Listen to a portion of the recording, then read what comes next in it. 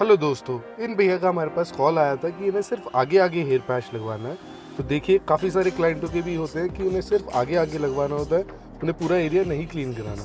तो इस चीज़ को, इस प्रोसेस को कस्टमाइज हेयर पैच कहते हैं। तो चलिए देखते हैं कैसा प्रोसेस है और किस तरीके से बाल लगाए जाते हैं। तो इनका सिर्फ़ आगे आगे लगाया जाएगा, पीछे की साइड इनके हेल्दी हेयर्स हैं। तो इनका पीछे नहीं हटाया जाएगा, सिर्फ़ आगे आगे पैच लगाएँगे।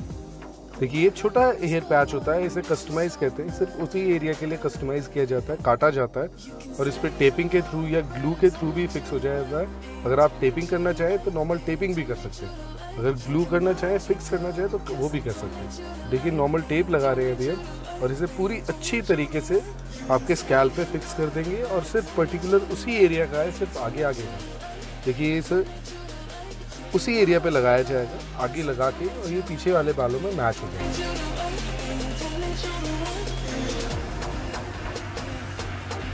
पीछे पूरी अच्छी तरीके से ये मैच हो जाएगा और आ, बिल्कुल पता भी नहीं चलता है कि आगे कुछ लगा भी रखा है।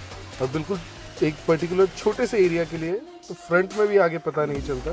फ्रंटलेस बेस ही होते हैं इनके काफ़ी नेटेड बेस होते हैं पतला बेस होता है। तो आगे से भी पता नहीं चलता है कि कुछ पैच लगा रखा है। उसके बाद इसकी कटिंग होती है। कटिंग करके अच्छे से मैच कर देते हैं हम एग्जिस्टिंग हेयर्स के साथ। और बिल्कुल अच्छे से मैच होने के बाद कलर टेक्सचर मैच होने के बाद, ये आपके असली बाल